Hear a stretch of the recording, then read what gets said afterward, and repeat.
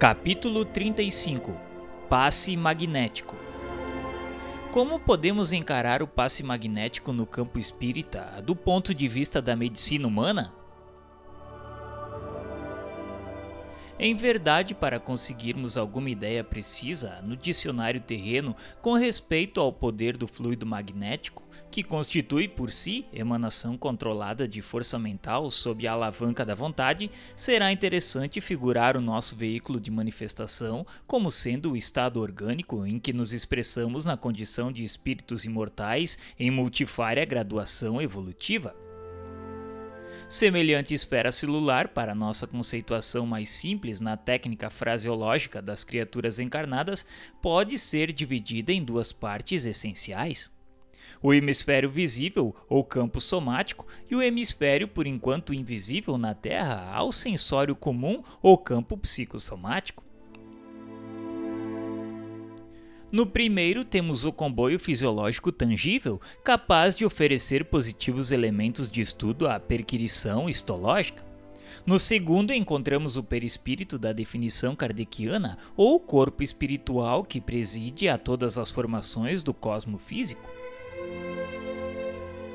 observando assim o carro de exteriorização da inteligência por um estado orgânico perfeitamente estruturado em sua base e comportamento, é fácil interpretar-lhe os órgãos como províncias diferenciadas entre si. Não obstante, conjugadas em sintonia de ação para os mesmos fins, e apreciar-lhe os milhões de células como entidades microscópicas em comunidades distintas, como povos infinitesimais a se caracterizarem por atividades específicas. Representando o sistema hemático no corpo humano, o conjunto das energias circulantes no psicossoma, energias essas tomadas pela mente através da respiração ao infinito reservatório do fluido cósmico, é para ele que se encontra intimamente associado ao estímulo nervoso ou aparelho de comunicação entre o governo do estado simbólico a que nos referimos e suas províncias e cidadãos, os órgãos e as células correspondendo aos centros vitais do perispírito, que não podemos entender agora por ausência de terminologia adequada entre os homens, temos o eritrônio, o leucocitônio e o trombônio, tanto quanto o sistema retículo endotelial e os gânglios linfáticos, dando nascimento no plasma sanguíneo às coletividades corpusculares das hemácias, dos leucócitos, dos trombócitos, dos macrófagos e dos linfócitos a se dividirem através de famílias numerosas em trabalho incessante, desde as usinas geratrizes do baço e da medula óssea, do fígado e dos gânglios até o estroma dos órgãos. Reconhecendo-se a capacidade do fluido magnético para que as criaturas se influenciem reciprocamente, com muito mais amplitude e eficiência atuará ele sobre as entidades celulares do estado orgânico, particularmente as sanguíneas e as histiocitárias determinando-lhes o nível satisfatório, a migração ou a extrema mobilidade, a fabricação de anticorpos ou ainda a improvisação de outros recursos combativos e imunológicos na defesa contra a invasão bacteriana e na redução ou extinção dos processos patogênicos por intermédio de ordens automáticas da consciência profunda. Toda a queda moral nos seres responsáveis opera certa lesão no hemisfério psicossomático ou perispírito, a refletir-se em desarmonia no hemisfério somático ou veículo carnal, provocando determinada causa de sofrimento. A dor, portanto, dessa ou daquela forma, é sempre uma situação de alarma ou emergência, mais ou menos durável no império orgânico, requisitando o socorro externo da medicina do corpo ou da alma na execução do alívio ou da cura. Pelo passe magnético, no entanto, notadamente naquele que se baseia no divino manancial da prece, a vontade fortalecida no bem pode suerguer a vontade enfraquecida de outrem, para que essa vontade, novamente ajustada à confiança, magnetize naturalmente os milhões de agentes microscópicos a seu serviço, a fim de que o estado orgânico, nessa ou naquela contingência, se recomponha para o equilíbrio indispensável. Assim é que orar em nosso favor é atrair a força divina para a restauração de nossas forças humanas. e orar em benefício dos outros ou ajudá-los através de energia magnética à disposição de todos os espíritos que desejem realmente servir, será sempre assegurar-lhe as melhores possibilidades de auto-reajustamento, compreendendo-se, porém, que se o amor consola, instrui, ameniza, levanta, recupera e redime, Todos estamos condicionados à justiça a que voluntariamente nos rendemos perante a vida eterna, justiça que preceitua conforme os ensinamentos do nosso Senhor Jesus Cristo, que seja dado isso ou aquilo a cada um segundo as suas próprias obras. Cabendo-nos recordar que as obras felizes ou menos felizes pode ser fruto de nossa orientação todos os dias. E por isso mesmo, todos os dias será possível alterar o rumo de nosso próprio roteiro.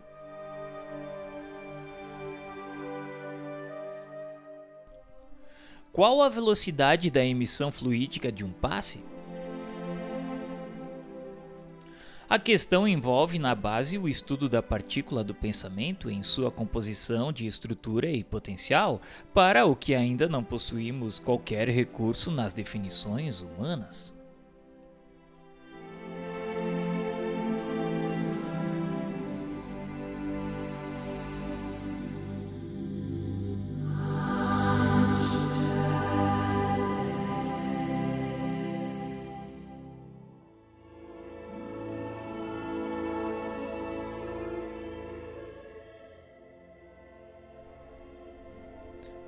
Capítulo 36 Determinação de sexo Como devemos encarar a possibilidade de a ciência humana patrocinar a determinação de sexo no início da gestação? Compreendendo-se que nos vertebrados o desenho gonadal se reveste de potencialidades bissexuais no começo da formação, é claramente possível a intervenção da ciência terrestre na determinação do sexo na primeira fase da vida embrionária. Contudo, importa considerar que semelhante ingerência na esfera dos destinos humanos traria consequências imprevisíveis à organização moral entre as criaturas, porque essa atuação indébita se verificaria apenas no campo morfológico, impondo talvez inversões desnecessárias e imprimindo graves complicações ao foro íntimo de quantos fossem submetidos a tais processos de experimentação, positivamente contrários à inteligência que reflete a sabedoria de Deus.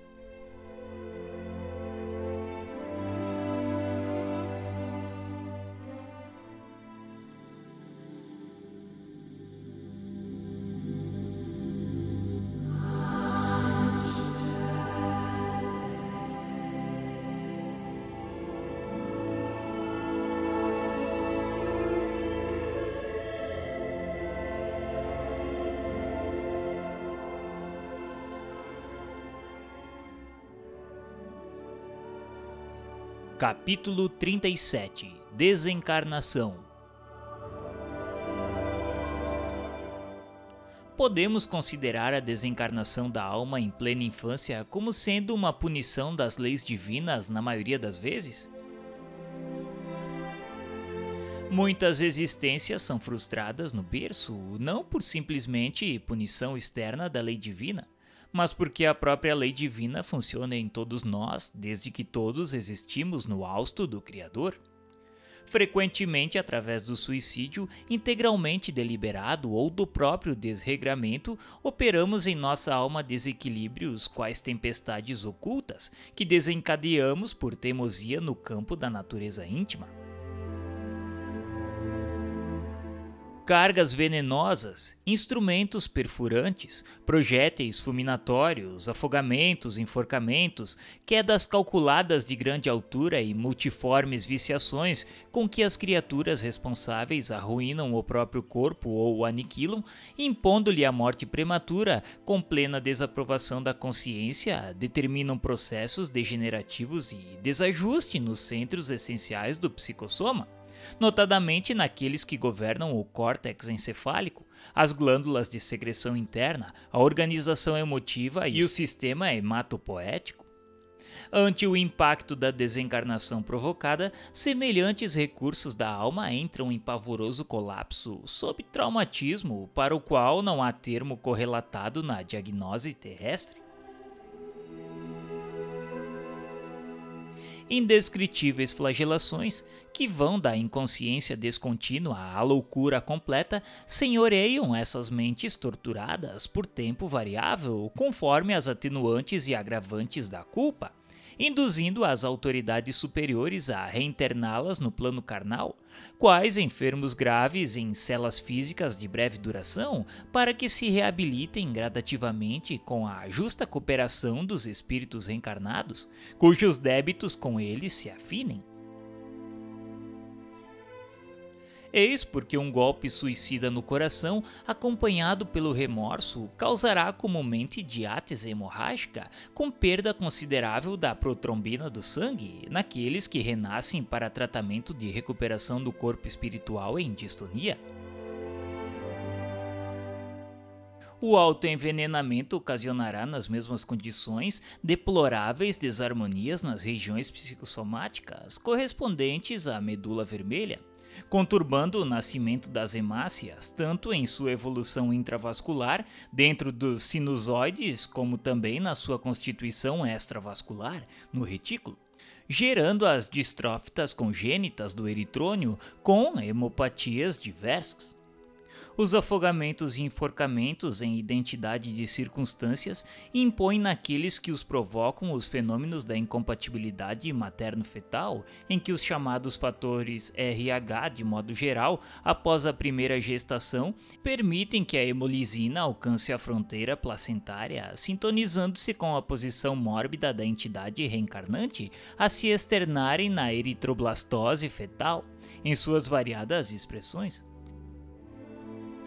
e o voluntário esfacelamento do crânio, a queda procurada de grande altura e as viciações do sentimento e do raciocínio estabelecem no veículo espiritual múltiplas ocorrências de arritmia cerebral a se revelarem nos doentes renascituros através da eclampsia e da tetania dos latentes na hidrocefalia, da encefalite letárgica, das encefalopaxias crônicas, da psicose epilética, da idiotia, do mongolismo e de várias morboses oriundas da insuficiência glandular?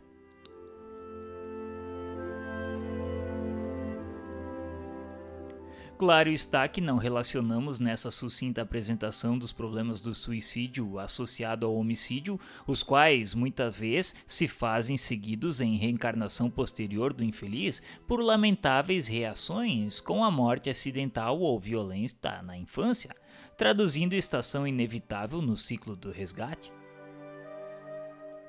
No que tange, porém, às moléstias mencionadas, surgem todas elas nos mais diferentes períodos, crestando a existência do veículo físico, via de regra, desde a vida em útero até os 18 e 20 anos de experiência recomeçante.